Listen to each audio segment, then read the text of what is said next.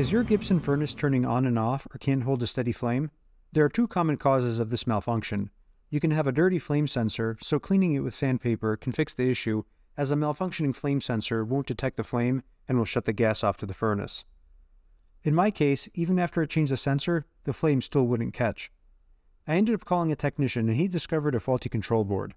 Faulty control boards seem to be a common issue on Gibson furnaces, where they develop tiny cracks in the solder joints on the backside of the board, leading to an open circuit and disconnecting the relay.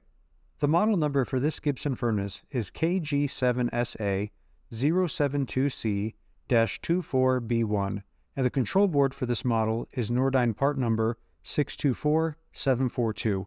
Make sure to verify the correct specifications for the board, as there are both 24 and 120 volt variants. Ever since the board has been replaced, the furnace has been working without any issues, so if your Gibson won't stay on, check your flame sensor and control board. I have links to these parts in the description of this video.